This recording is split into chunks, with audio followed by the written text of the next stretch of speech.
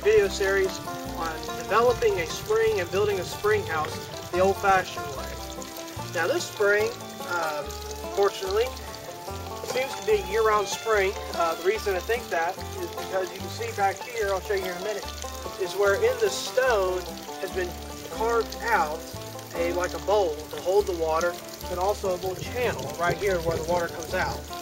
Now right now I have the water taken out away from the work site using this piece of PVC.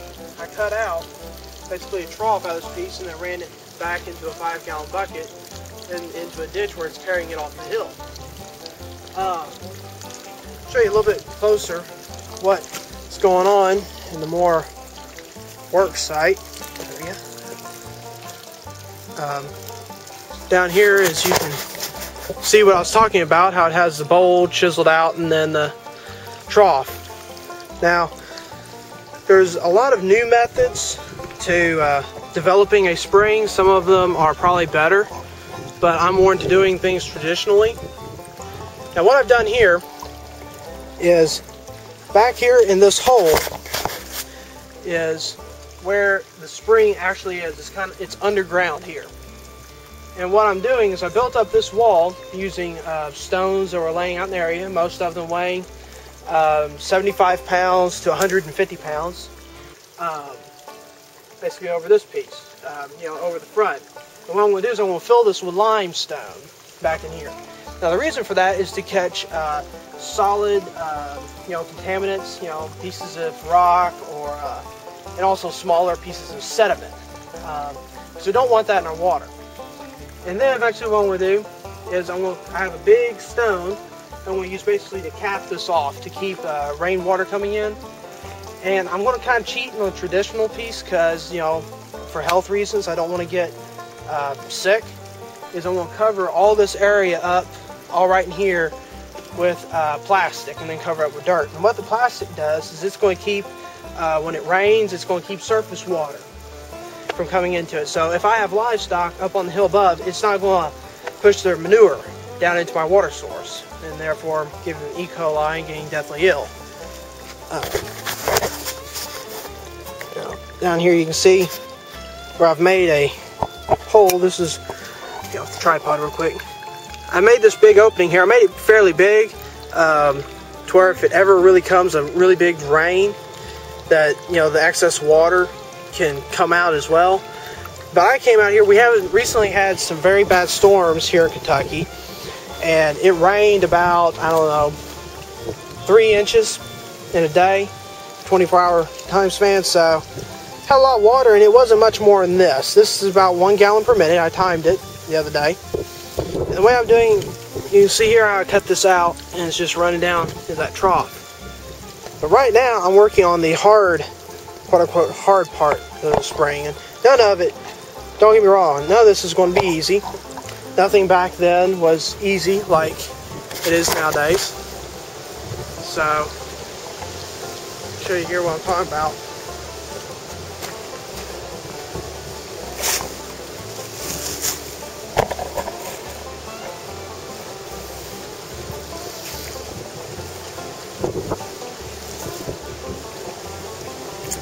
Now this right here, where that sledgehammer is, is where the floor level is going to be. That's how at the level on this hill is going to be. So anything above that, like those rock ledges and all that, I'm chiseling out right now, or hammering out, shall we say. Uh, not easy work, like I said, none of it's easy. But, you know, it's given me respect for uh, two people. One of the Romans, you know, when they, you know, they did a lot of stonework, and also Fred Flintstone, if you want to be funny about it. Way I've been doing this is I'm basically just taking a pick and uh, just hitting it as hard as I can. Now, starting up near the top part, and I'm going to work my way back.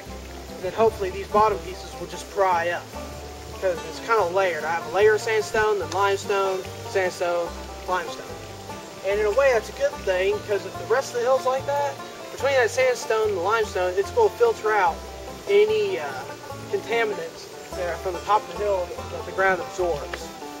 So, and one thing I almost forgot and I want to stress on highly wearing safety glasses. Whenever you're working with hammering stone of any kind, whether it's on this uh, kind of project or chiseling out brick, whatever, wear safety glasses. Now these may look like ordinary sunglasses, but I buy these from the uh, welder supply shop in the town right down the road. And these are not only sunglasses, but they're also welding glasses and uh, eye protection. So whatever you get, whether they're clear or tinted, doesn't matter. You know, I prefer these. Wear safety glasses. I cannot stress to you how important it is. Because you get, you know, you're only born with two sets of eyes, and they haven't found a way to make a duplicate eye to pop in if you break, if you mess one up. So, whether it's traditional work or not, safety glasses. So, we'll kind of get to work here. Start hammering away on this rock.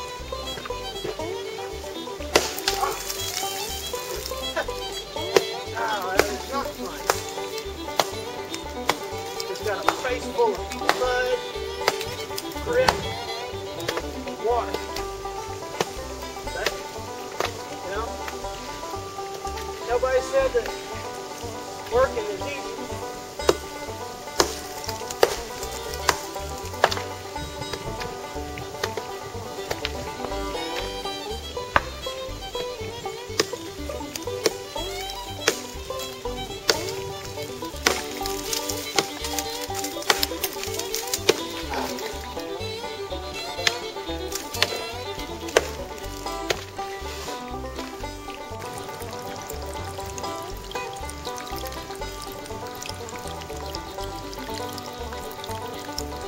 Okay, now like I said, this is the old-fashioned way of developing a spring and building a spring house. Now, if you're looking for something, uh, you know, you don't care if it's traditional or not, then I would highly recommend looking up on YouTube, and I'll post this video and channel link down at the bottom of the page, is Engineer 775. Uh, I watched his video on developing a spring, and I've developed a couple springs, and his method of doing it is very good. It's best I've seen on YouTube. So if you want a good way of developing a spring the modern way, go to that video. It is the best out there on spring development, or modern way as I call it.